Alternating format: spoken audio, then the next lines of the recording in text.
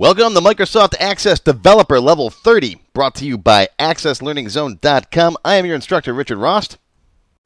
Today's class is all about file input and output. We're going to learn how to work with text files. There's lots of reasons why, and I'll go over them in a few minutes.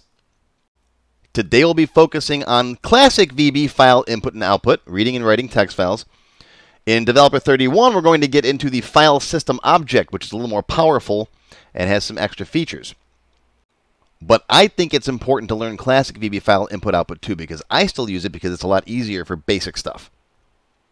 This, of course, is developer level 30, so I recommend you have taken developer 29 and everything before it. For example, in developer 16, we learned record sets, and in today's class, we will be using record sets when we read in text files, and we're going to add that data to a table. We'll use a record set to do that. So don't jump around, take the classes in order, please, for your own benefit. I will be using Microsoft Access as part of a Microsoft 365 subscription, roughly equivalent to Access 2019. However, everything that I cover in today's class goes way back. So even if you've got Access 2003, it should still work just fine. This stuff hasn't changed in years. If you've got any questions regarding the material covered in today's class, just scroll down to the bottom of the page that you're on right now and post your questions there.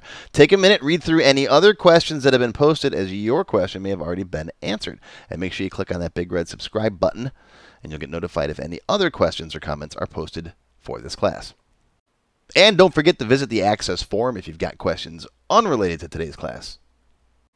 All right, now let's take a closer look at exactly what's covered in today's lessons.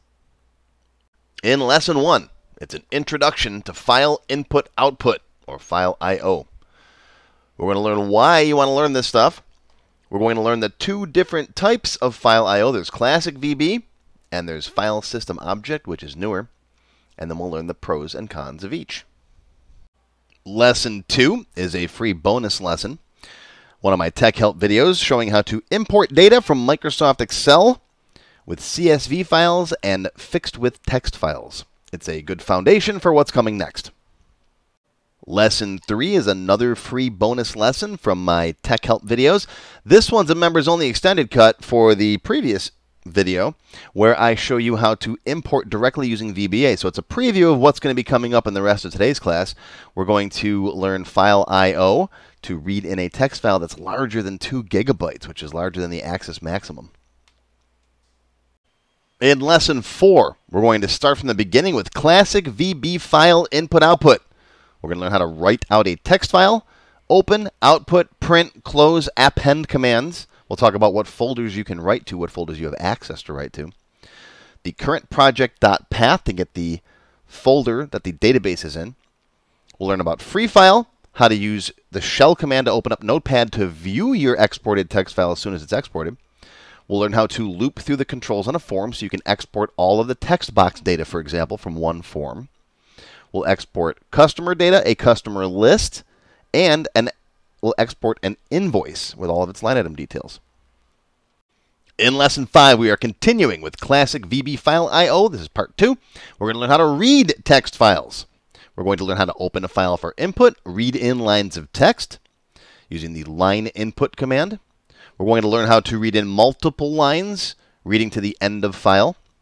Then what we'll do is we'll take the customer data that we exported in the last lesson and learn how to read it back in. So we can send that file to someone else, like a sales rep. They can update the information. Then you can read back in their responses right into their customer record in the database.